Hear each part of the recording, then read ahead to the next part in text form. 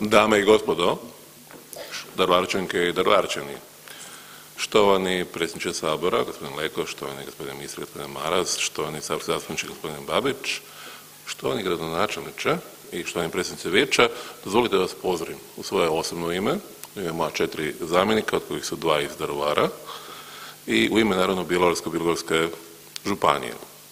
Šta reći nego da mi je drago da sam ponovo u Daruvaru. U ovom mandatu bio sam desetak puta, uvijek sa razlogom i povodom, a ovo je naravno jedan trenutak kada smo čuli kako gradonačelnik izražava sve ono što se napravilo, ali i planove koji tek dolaze. Kad govorimo o županiji i gradu onda moram reći da želimo napraviti partnerski odnos, partnerski odnos u jednim ipak dosta teškim vremenima kako napraviti projekte za ovaj kraj, kako pomaknuti sve ono što treba napraviti da bi se oni i ostvarili. U tih desetak mjeseci mislim da smo nešto i napravili. Ja ću reći da je gradonačelnik spomenuo nekoliko najvažnijih dijelova koji se tiču ovoga grada. To je pitanje primjerice onoga što je uobičajeno za nas u lokalnoj i regionalnoj samoupravi komunalne infrastrukture. Mislim da kad govorimo o tome da zajednički nastup grada i županije kod vodoopskrbe gdje dio dio vodoopskrbe nosi sama županija i preko svojih bjelovarsko-bilogorskih voda i financira da je to nešto što će sigurno doprinijeti ljudima ovog kraja da imaju standard koji zaslužuju. Kada govorimo o onim stvarima koje život znače, a to je obnova niza škola, zdravstvenih ustanova ili drugih elemenata isto tako zajedno radimo i nadam se da se također vide i prvi rezultati. Ali kad govorimo o turizmu, evo ja ću se prisjetiti moje bivše funkcije kada sam bio puno puta ovdje, puno programa je podržano tada od ministarstva i čini mi se da se rezultati vide. Brojke to govore i mi ćemo nastaviti tim putem. Možda treba istaći da je i ustanova Specijalna bolnica Hrvatske Toplice u vlasništvu same županije i da smo prošle godine imali situaciju smanjenja limita, ali da smo praktički zajedno u suradnji županije, upravnog vijeća, ja bih rekao i grada i naravno samog ravnateljstva uspjeli da umjesto gubitka i otpuštanja imamo višak i dakle ja bih rekao dobro poslovanje u jednim nimalo lakšim uvjetima.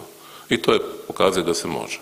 Međutim, kad govorimo o turizmu ja bih istakao da tu imamo i nekoliko stvari koje tek očekujemo da se naprave, dvije bih istaknuo, dakle to je Green Concept Plus, dakle program koji je još začet prije 4 ili 5 godina, program koji bi trebao sa gotovo 20-ak milijuna eura, dakle investitorske toplice dići, dakle nešto što mi želimo, a to je zdravstveni turizam, već je to prošlo drugu evaluaciju i nadamo se, očekujemo zapravo odobrenje od sredstva od Europske unije.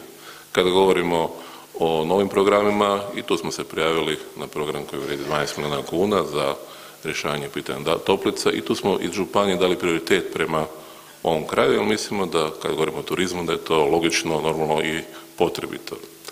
Naravno kad govorimo o gospodarstvu zajednički naš želja i cilj je da se ono ja bih rekao prvo ne pogorša, a onda da se oporavi.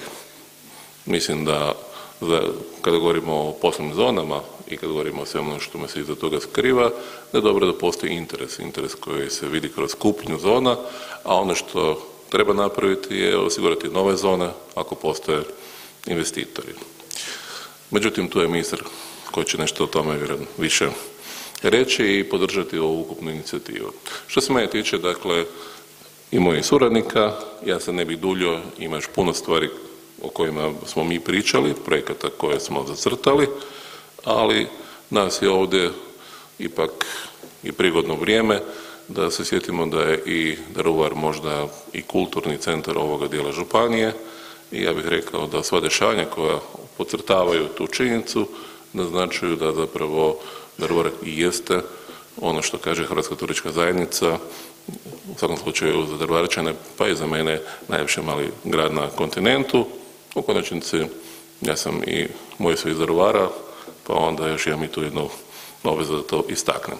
Svima vama, pozdrav Daruvarčanima i Daruvarčankama, sretan dan grada.